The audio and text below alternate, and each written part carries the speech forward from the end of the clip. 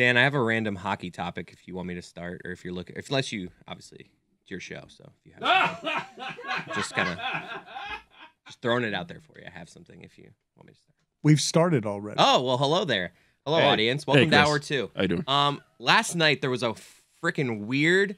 I like to call it a hat trick bad beats, Stugotz. Did you see this? No. So a guy for the Minnesota Wild, Joel Eriksson Ek, Yes. he got he had two goals. Late in the game, he gets a third goal. We didn't talk enough yesterday about a goalie having 70, what was it, nine goals in a Yeah. triple overtime game? Was- 79 saves, not Seven- oh, goals. excuse me, 79 That out of your saves. record Yes. there, Dan. Well, I think the other one should be. position? I think the other one should be a record for the position too. There have been a lot of times when there have been 79 saves. Triple How- overtime. I mean. How often, like Roy? Yeah. When was the last goalie goal? Uh, was that ever Monte- happen? Yeah, yes, it's happened. Well, open Ron. Hextall, It would be an open Monte netter, Brodeur. right? Yeah, yeah, it had to be empty net. Yeah. Anyways, okay, so this guy, he has two goals. Late in the game, he gets a third goal. At hockey games, when you get a hat trick, you throw your hat onto the ice. So a bunch of hats go flying onto the ice, and then the goal is overturned. Do these people get their hats back? No, they don't. So I feel bad. For, it's a hat bad. It's a hat trick bad beat. You threw your hat and you lost your hat, and there's no hat got- trick. So you Yep. have to wait for the review. You have to make sure that everything's right, before you hurl your hat, which goes against the premise of Right. hat hurling. right. Why would you ever throw your hat on the ice? Like, I get it. You probably get lost in the moment and you're Yeah. like, oh, I want to do that. Everyone else is doing it. But- it's cool. But I like all my hats. No, There's so not do a I. single hat I would Do you bring an? Ex- do you think people bring an extra hat? You have to bring a hat that you wouldn't normally wear. no it's got to be an old hat. No shot. People bring extra hats. No, but you, You, should. can't bring bags. No, the You're just best. carrying I, a hat. I love that you're bringing this up because it this story gets even better. Okay, so it gets overturned. The hat trick is now there's no hat trick that's been had so far. All these people lost their hats. Now later in the game, Ah. somebody else from the Minnesota Wild scores a, thir- a, a hat trick. So now another player on the Wild actually gets a goal that stands. so now there's a hat trick. More hats start flying. So that means there were people that were like not throwing my hat for Joel Eriksson. But then they're like, wait, but somebody else has a hat trick. So they're like, now I'll throw my hat. Like, who's the person? You don't think people are bringing two hats? You don't But think people? I want to know who's the person that was like not throwing it for the first guy, but now, you know what? I have to. was the lamp red on the first guy? Because I would say there's a bunch of people who they showed, you know, some patience and said, "I'm going to wait for the for the oh, official Oh, to confirm the goal." They held on to their hats. Yeah. that's what a cagey vet does. I wow, just- that is Yes. literal. You've got to be patient. You've got to to check the hold on to your hat. yes, you got to wait for the horn. I, mean, I don't even know the origins of the phrase "hold on to your hat." Where does it come from? Is it like you're at a train station? What are the origins of that? Uh, the uh, NHL record, by the way, for saves in a game is 85 by Jonas Korpisalo. That happened August 11th, 2020. What about goals in a game by a goalie? Probably not 79. I think like hold on to your hat is like if you're about to be driving really fast in a car or on a train and the wind is gonna blow your hat and it's like hold on to your hat. But That's usually, like I on, on a roller coaster, that. they tell you to take off your hat. Nowadays, it's like, Mm. don't just hold on to your hat, take it off. Imagine if you're wearing a hat on a roller coaster and it flies off and hits the person behind you at full speed. I don't like when I'm on a ride, a fast ride at a theme park, and they're like, take your sunglasses off. It's like, hey, how about you let me be the judge of that? Okay? I'm going to lay my sunglasses on. If I lose them, that's my risk. How about you do your job, But and what, I'll worry what about, about my others sunglasses. though? Hitting others in the Nope. face from behind, like the, the people behind choice, you. I On, mean. it's hit. It's it's your choice to hit people in the my face. life. Let me live it. But what about the faces of the people behind you who are going to be hit by your flying They should have glasses? glasses on, because you're an oaf. They'd be protected with glasses. for, for all the hockey fans in the room, do you ever consider when you're going to a hockey game what hat you're putting on and think I might have to throw this hat later, so maybe I'll wear like my third favorite hat. Well, put it put it on the poll. That's what I'm saying. At LeBatard Show, does anyone bring two hats to a hockey game in the event that there are two hat tricks? Yeah. Or well, then three hats because you need to wear one on your Right. head. Right. If you're and then you bringing hats, you're a hat wearer. two. Right. right. So, does anyone bring an extra hat other than the one on their head? Is the question.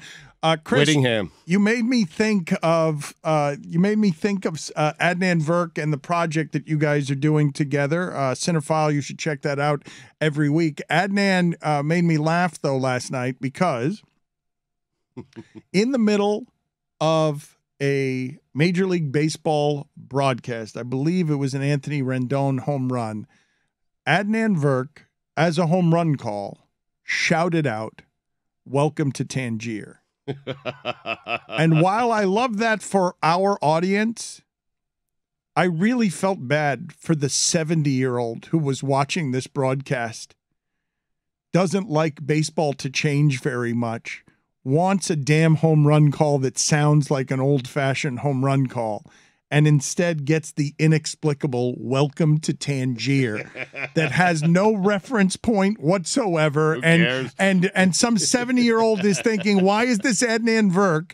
saying, why is Tangier in my broadcast? Why is welcome to Tangier a home run call? And of course, the answer to that is because Adnan Virk looks like the secret agent who greets James Bond when he lands on the island by helicopter and says to him, Welcome to Tangier. There was a long pause after he said it, and he was he was doing the game with Tom Verducci, and I just was feeling Tom Verducci like looking over at him. Like there was a long pause. No, after he, he, said, it. Verducci found it funny and no one else did. That's great.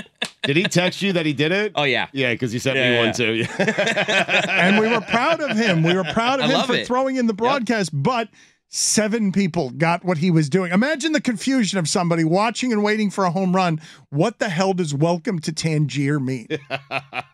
They don't even know where Tangier is. That's correct. They don't know what the reference is, I'm assuming. And anyway, nobody except people who listen to this show. That otherwise they're saying, why is this person welcoming me? There's no explanation for that other than you listen to the show. Wou- And Wouldn't they say the same thing about John Sterling though? I mean, generally, at least the ball went out. I mean, that is true, but you generally don't have a Major League Baseball network telecast with a home run call, a pretty big moment, something totally nonsensical to 99.9% of the audience. I imagine this is how Whittingham felt when he said penis on the MLS broadcast.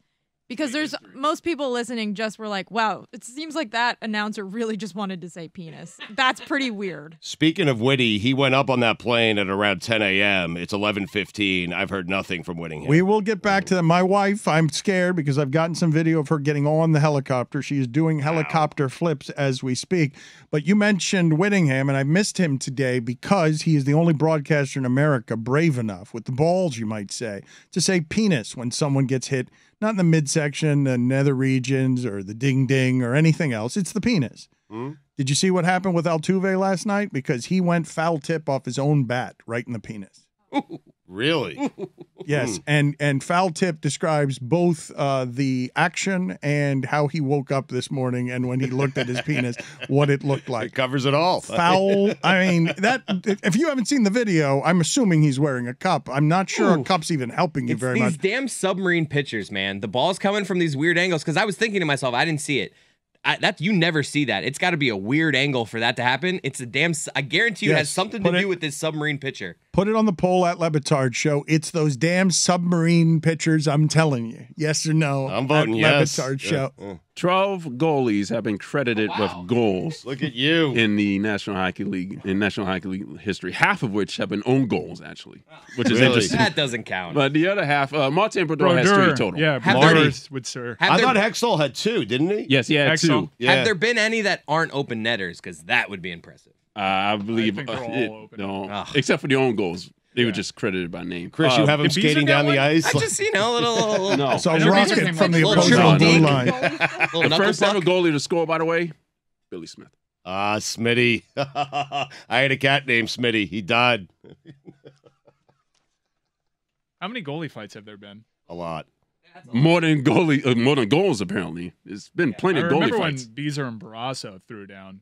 Oh, yeah, I think Billy time. Smith got Smitty got into the most fights of any goalie in hockey history. Like he lived to fight Bill Smith. that's a great trivia question. what about Yeah. Hextall? Hextall would mix Hextall it too. up. I think yeah, Hextall too. You're right. You guys are making up names. You don't know Um, Ronnie Hextall? literally- Ron You know, Hextall is one of the all-time greats. What kind of idiot are you? Barrasso? You don't know who Tom Ronnie Barrasso is. thinking of my top five hockey goalies of all Alex time. Hold on. I wanted to ask you guys something from First Take yesterday, Stugotz, because JJ Redick had a viral moment in which it is being alleged he dusted our man Chris Mad Dog Russo. Oh, Chris God. Mad Dog Russo was on First Take saying, among other things, to Draymond Green, some form of shut up and dribble, tired of you, you're not popular, you're polarizing. And JJ Redick, who is speaking truth, unlike most people, I'm not saying most people at ESPN. He's too honest. Don't don't speak the truth, but I'm saying that JJ Redick speaks the truth more overtly than it seems like anybody at ESPN. And he was right in Mad Dog's face. And he went on for two, two minutes that was popular enough that it got, you know, more than 10 million views, at least in part because Draymond Green is tweeting out that JJ sent this clown back to the circus. Speaking of Mad Dog Russo and Stugotz, this is blasphemy against our beloved icon, Mad Dog Russo.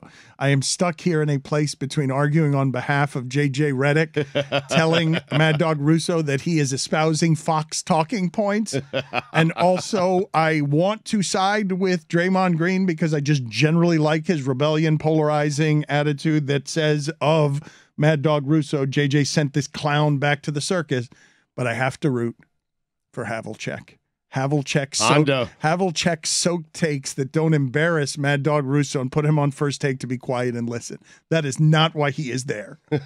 First takes on to something with those three together because it pops on social. JJ has a, a big internet following, and whenever he goes at Mad Dog, it kind of gets outsized what is actually the content. Yeah, the, the Fox News line, I can understand why that pops a little bit, but the things that he's saying, it's not this like incredible take. No, it's just something it's, that it factor. it's just no, it's not just it factor though, Mike. There has been a, a depletion of people willing to say things like that on ESPN as everyone sits out some of the politics stuff. JJ Redick is not saying groundbreaking things. What he's doing so though is helping his own brand as a player, willing to say something and not sit out conversations that have a tinge of the race stuff in it. Mad Dog Russo lobbed that up pinata style for a spike of some sort. The moment is JJ Redick is going to take a sports moment about Draymond Green. It's going to have some black and white in it. It's going to have the politics of it. It's going to have the conversation around old media members talking about something and young athlete here to speak a truth that you are not seeing many people. I mean, I don't see Bomani on ESPN very much anymore. Mina's doing some of it, but there aren't spaces Yeah. to have some of these conversations. And Redick, because First Take has a longer format, and because Redick wants at the trough where I'm the one who's going to do what McAfee did. Use ESPN to build my platform. He goes on there with something to say every Wednesday. Not shocking to hear him say it, just by comparison around some of the blandness that surrounds you because you're avoiding these subjects, he ends up popping. Yeah, but I'm not even talking about this one. I kind of understand why this one popped, just because Fox News, ooh, we we jump. Even though th- what he's saying is a conversation that actually happens with fairly commonplace, even on that network, especially when we were over there talking about like the first time he went viral, which actually did bigger numbers than this one. Yeah, which is if you drop Kyrie Irving into the the days of Bob Cousy, he'd be a wizard. And Cousy was going up against plumbers. That's not necessarily. I was shocked watching. him, like, why is this so popular? Has Mad Dog never heard this argument? It's it factor. They have something in JJ Redick, Mad Dog, and Stephen A. Smith because that had no business going viral. But I'm such going- a benign take. Um, but I'm going there on Wednesdays for Mad Dog. That's it. It's Mad Dog versus Stephen A. Smith, and I feel like JJ Redick's getting in the middle of that. Now, if you're telling me JJ Redick is making it better, perhaps I'll start watching again. But right now, I'm on hiatus on Wednesdays. Well, he I- actually no, he'll call them out. Whereas Stephen A. And, and Russo just go back and forth. I don't want doing them called out. things. They, they like need, they're just they playing. They're young playing blood. tennis with their personalities. Where JJ's like, "Oh, you said something. I'm going to call you out on it." They need Yeah, I a don't younger. like that. It, it Wednesday goes to a little too old of an audience, and JJ, I guess, brings in the younger following and speaks for a uh-huh. bunch of young people that are like, "Why is Stephen A. just letting this person talk about John Havlicek? Who is John Havlicek?"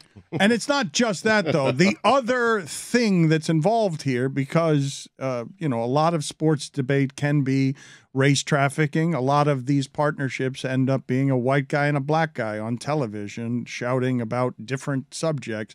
And Stephen A. Smith, I told you yesterday, Stephon Marbury's calling him an Uncle Tom. It's something you hear a great deal in the black community uh, sports fans who don't like the zealousness which with, with which Stephen A. Smith sometimes goes at black athletes. So to hear the white guy who was a former basketball player say to the white old guy who's using the dog whistle and the code of shut up and dribble to hear the white guy put the other old white guy in his place from a player perspective and have the older white guy say, hey, this isn't a race thing. And Redick is like, I didn't mention race. Right?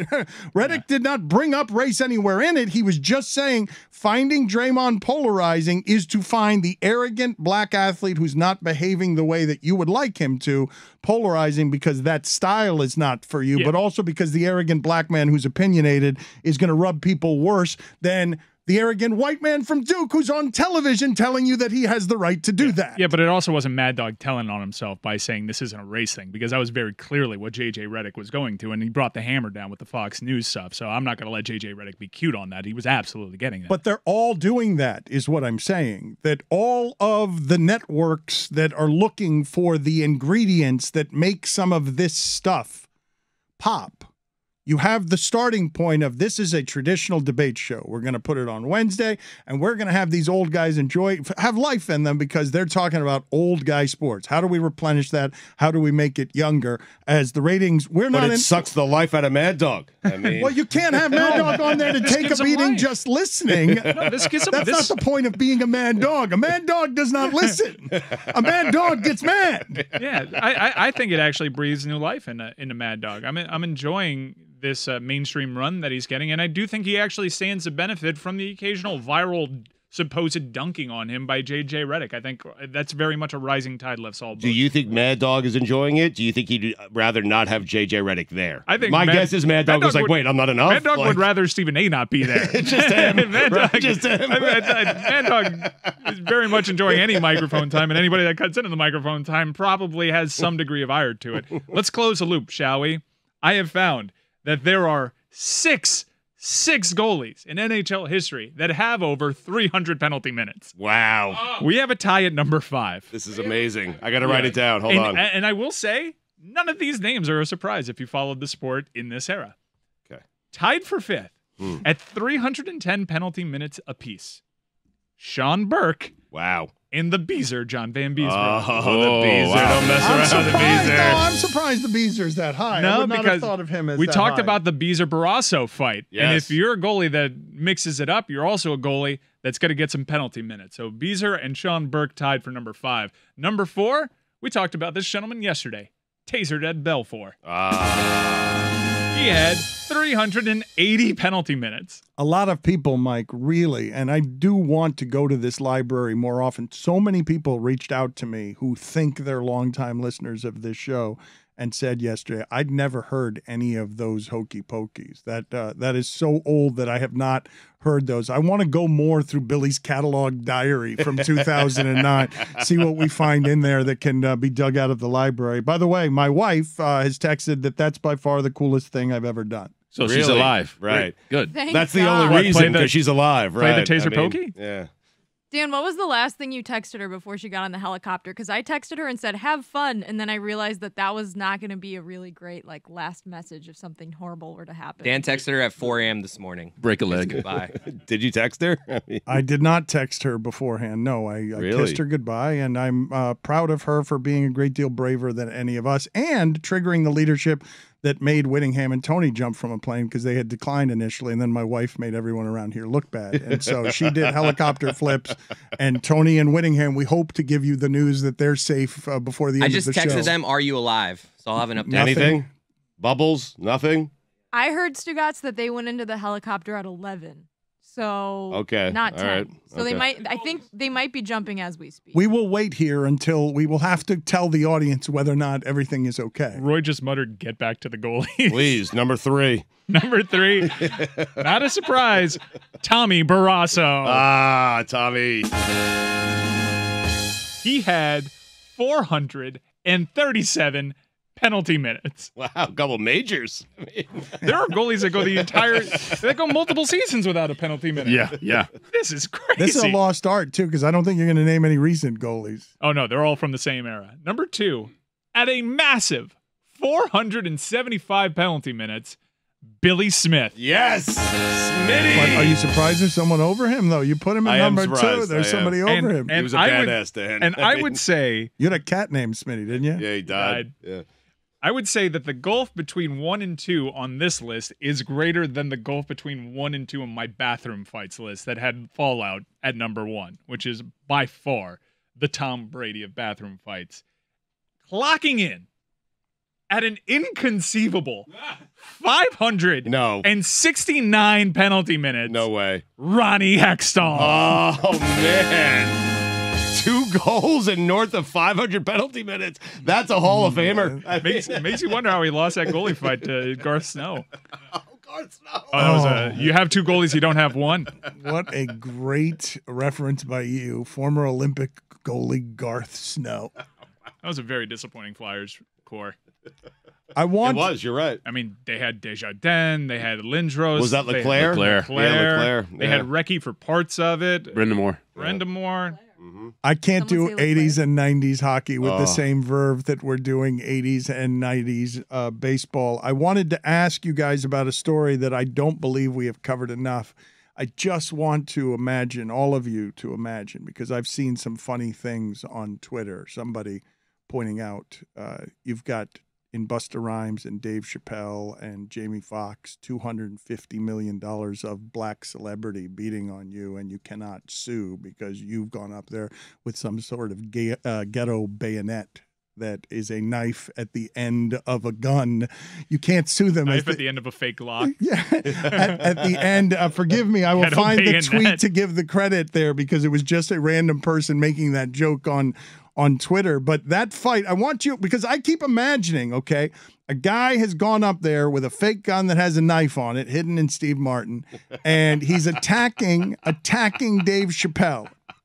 And then what I'm imagining after that is Busta Rhymes freestyling while he's hitting you, Jamie Foxx doing an impersonation of Chappelle, Chappelle and Chris Rock cracking jokes because Jamie Foxx is already doing the impersonations of Chappelle giving people what they want from from what was a beat down there saying like i see you other comedians not coming to help me with the knife bayonet guy. It's got to be jamie Foxx who comes in here because all of you want to replace me all of you standing there, I'm looking at you, Chris Rock. All of you standing there want to be where I am, and you wanted this knife, this bayonet knife, to take me out. It is a retread joke, but I do like to envision Busta Rhymes going up to the group saying, Can I kick him? And everybody going, Yes, you can. I think that Busta Rhymes, first of all, you saw him when he performed here at the Clevelander. He is thick and he is angry, and he's not someone I would want stomping on me. you have a particular type of person you I'm, want stomping I'm on saying you. that's not Busta Rhymes is not one of them. Like Right. I, it seems it, it seems that Yes. would be a pretty unpleasant thing.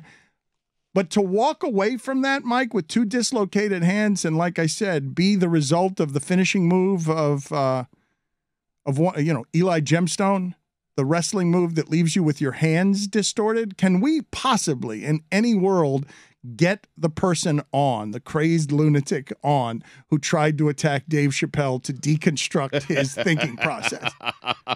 No, I'm guessing no, we're not probably get not. yet. No chance. Yeah. I mean, we could try. I It's going to be a tough get. yeah.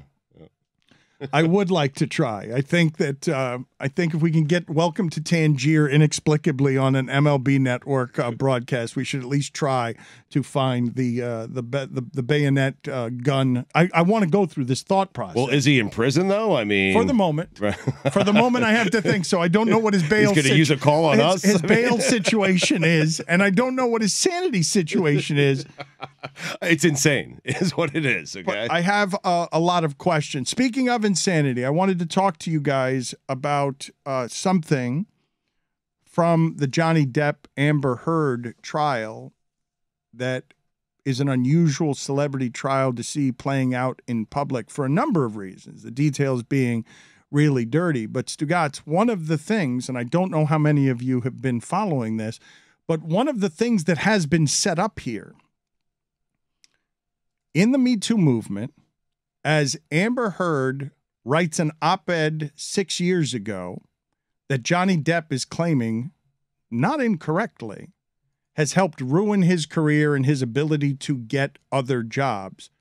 In the testimony so far by Johnny Depp, it really does appear at the height of this movement, Stugotz, that Johnny Depp is making the argument and in making a convincing argument before Heard. Heard has just spent a couple of days on the stand making the convincing argument that in this scenario, the man was the one who was in the abusive relationship. The man was the one who felt like the woman silenced, unable to say anything as an op ed piece comes out claiming that he was the abuser. And the part that is hard to discern while watching the testimony is that Johnny Depp is so much better an actor than Amber Heard that I'm watching this and I'm like, oh, he is making this very convincing that he is backpedaling the entire time, the subject of abuse, and is trying to, in the celebrity, in a celebrity trial that is pitting people famous enough to take America's interest,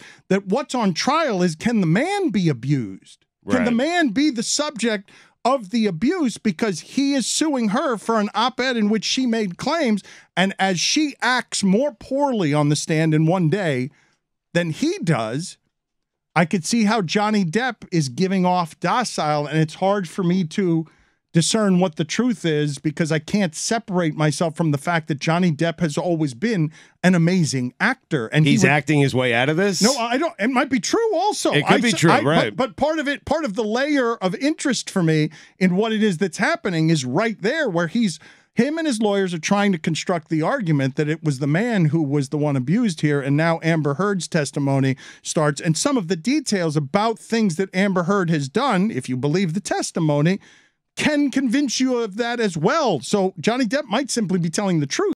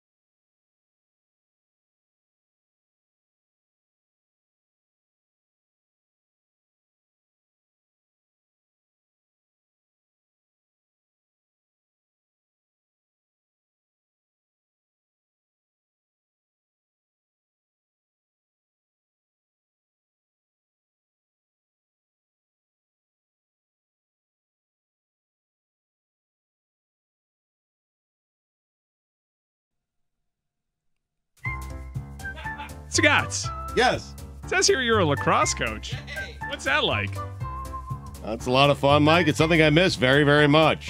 Um, I enjoyed it. I enjoyed winning. I enjoyed teaching lessons on the field and off the field. That's all right. Enough of that. yeah, thanks. Say something nice about Ty Cobb. Great hitter. Judges? That works? Yeah, That I'm good. That's good. Thumbs up. And that was say something nice about a racist. Is that the end of the game, or do I get another chance? I No, was, I was totally we don't want, we don't trust you with this game. I beat You're you. bad at it. You don't trust me with this game in No, which you throw me killed it. Disney? Yeah. You don't trust me with this game? Sorry. You open with Disney on me. Sorry. Some people were born to play this game. Yep. Some people aren't. Yep. Do you think this gets picked up for a full season? It's delightful music. Was- yeah, this came up yesterday, which is what could I get that is more uncomfortable than would you attend their funeral? I got to make people miss would you attend their funeral. And I came up with say something nice about a racist. Hmm. And I'm not sure it works.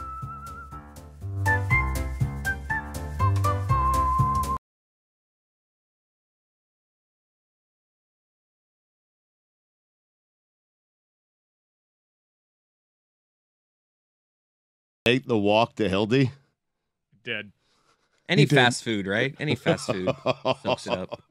So after we talked this thing out on the air, Yeah. and now she knows our approach, hmm really tried to throw her off of my literal scent. Right. And I went there with a cell phone in hand Right. and a MacBook. Wow, that's Yeah. a heady play. And yeah. I asked for keys because I've really got to get on this Zoom call and I'd love some privacy. Stugotz, I can't believe that I walked into the bathroom and I was like, "Oh my god, that's awful." And then when I went to wash my hands, there was a MacBook Same. next to the sink. Same. Yeah, I we'll walked get- in there too. I was like, Jesus Christ. Yeah. I couldn't do the walk back out. I had to still pee. I was like, oh Yeah. man, I got to go through with this. We'll get to the spot that you guys put me in. You a couldn't. You, you couldn't go up there to pee? Well, no, I wanted to just walk right out, but I didn't want to be the guy that clearly walked right out. So I was like, damn, he probably heard me come in. So now I just got to pee. And the whole time I'm just like, this is foul. So what happened? It's a small bathroom with one toilet Yeah, and one stall It and sucks. just two you guys urinals. have one stall. One yeah, cell. just one. And I was like, who's in there? And then I also saw the laptop and I was like, oh, Mike's in there. Yeah. So obviously, I didn't get key access because none of these fucking keys ever worked That's to this what I'm room. saying. Thank you. So I went. I got, I got one key card. Didn't work. Went downstairs. Oh, to you were Hildy. trying to do it privately. yeah, he Yeah, was, was trying, trying to. to- He couldn't. No, this happened to me because she gave me seven key cards, all seven did, of did them. you not None use them worked. any of the phone cards? So key card number one doesn't work. yeah. She knows this problem with the key card, so she gave me a wristband that also is supposed to unlock it. Wristband number two does not unlock it. I go back downstairs. I'm like, hey, Hildy, uh, meeting starts very soon, and none of these keys work. Might we have one that works? Because I don't want to use. A, I do go number two in in the public one quite often when I'm comfortable in the consistency and, and scent You hover though, right? this one was going to be bad. My stomach was really hurting. And so Frankie, our security guard, says, Oh, I've got a key. And I'm like, Great. I really need to start this meeting. And I get the key card. You're still pretending it's a meeting. I'm still pretending it's a meeting, and my spot has been blown up, obviously. So I'm kind of saying it in a sarcastic voice. Frankie gives me his key card. I go up there, bubble guts. Like, I need this door to open. It's getting bad. Doesn't unlock. No. Oh boy. And so I just walk downstairs, kind of toss the the the key card in- in, Frustrated. Frankly's general direction. I'm like, you know what? I'm just gonna take the meeting over here, guys. and we stormed into the and I go over there. It's very obvious what's about to go down. So there's no place for me to put this MacBook. That I why did I take this prop? I'm already regretting the MacBook. I'm putting I put to it get on. Hildy off your set, just so. Yeah. okay. So I put the MacBook down on the sink and I'm like, dear God, just be done before anyone can walk in here. Nope. All right? Nope. No, you guys weren't the first two people Oh, that got no. in there. It's a lot of So shame there. I sit down. Are you looking at shoes like you knew it was us based off shoes? I, I know it was you by the sound of your stream. I have clocked you guys out. All right. really? Yeah. I, I even flushed before I started peeing just because I was that uncomfortable. Yeah, I I needed need- some noise in the room. Right. So Understandable. I'm in Yeah. I'm in there, and I've already done like six courtesy flushes because yeah, That I'm was very considerate. post courtely Holy flush. shit! Wow. That, that- that is the most Right on. discourteous courtesy So- I have ever smelled. Yeah. So uh, I'm gone. I've I finished phase two, and I'm rounding into phase three. Frankie opens the door. Oh boy. Oh, Hey, Mike. no. Hey, Mike. I opened up that door so you can go have your meeting. Thank you, And I- Frankie. and I'm Just like- like through this. I'm like, meeting's already underway, Frankie. Thank you very much. I do not. I do not like talking from a public I love stall it. It's when the I best, am yeah. pooping. No. Yeah, it's the best. Frankie, he uses that stall more than anybody else, so he's got less shame about it. He's like, "Hey, Mike, I opened up, like, didn't get what I was doing. I'm not sure. I was dripping in sarcasm." And he's like, "Hey, open the door up. You can have your meeting now." I'm like, "No, I'm I'm good." And then Dan comes in, and then Chris Cote comes in, Everybody sees my MacBook. Everybody knows it's it such has a to be the clue. me. smell, it's though. such a great clue. It was the smell that meant me before the clue that it was you. You know, the added variable to this that wasn't discussed was the multiple times you had to walk up and down the stairs. That did not help. No, Oh, that's didn't. good. No. that's not. It's No, 'cause- unpleasant when you got the bubble gum. Yeah, yeah. My my bleached asshole was real tight. I appreciate a foul smell. I got to be honest with you. Oh you. come on. No, uh, Dan, I kind of do. It's like, listen, you really let one out. You really had to go. I feel good for the person. Oh no, I do. That's Yeah. not true. They got something out of them. Dan, did you say anything? Like, bad. Did you? No, you I guys- scurried out with Yeah. like uh, with adopted shame. Like I, I felt bad for whoever was in there. But initially, Why? though, I already felt bad for that person, whoever they were. And then next thing I know, um, there's a MacBook to tell me who it is, and then I wanted to flee. But Chris Wittyngham has landed, ladies and He's gentlemen. alive! Uh, Tony, we don't know about yet. Tony? But, uh, He Tony- better be. He better be. Tony's there. alive. Thank God. Thank God. There Thank God. Give us the He looks sideline. Go ahead. Give us the sideline. I'm upset that I'm holding the camera because I can't show you guys my certificate of skydiving. It's here. There you go. Oh, you're getting Wow. that Very frame. pleased. You're gonna frame that, aren't you? That's the best part. Is the bucket paperwork. list, bucket list Yeah. rides. Uh, so tell us about it. Interview Tony. Tell us uh, greatest fear. Tony's hair looks like uh, a jumbled mess of sensuality and and You uh, watch your tongue. and confidence. Uh, you you you what you've done with your tongue is more than watching. I uh I feel I feel good. Um they gave me the old one, two, three, but pushed me out on one. He told me to be like a banana, which I thought was interesting. I had to be like kind of inverted right. the opposite way. My my boy Igor was great. Um there's a huge dog walking by. Sorry. Were you a It's so top or a bottom? Uh I'm I'm I'm the the base. So whatever that would be. The Mhm. bottom, I guess. Bottom, Yeah, Mm. we were all bottoms. All, Yeah. all the guests were bottoms. Hell yeah. Yeah, Igor was Igor was about 160 pounds soaking wet.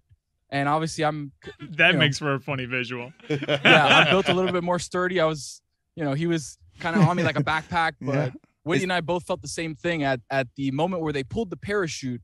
They tightened really tight around our legs, and we both lost feeling in our legs, and we almost passed out. What's the conversation like in the air? Yeah. As you're going up, I right. mean, the number of times that I had to say, yeah, dude, I, I've never said, yeah, dude, more in my life.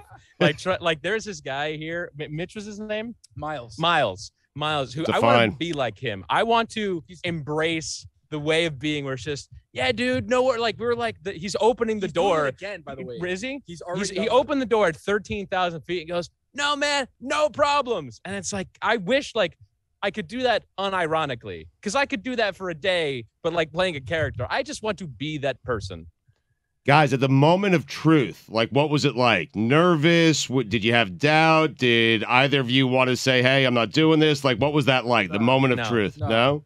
Never, ne- never, time. never doubt. Never, doubt. Born ready. We were go time from the moment. Did but they? I will admit, so I, w- I was I was first off. So I my I was sat on the edge of where the door was with my feet hanging over, wind in my face. I'm going, when when are we? When is this happen? What do I do? Do I get pushed? Do I fall? do I jump myself?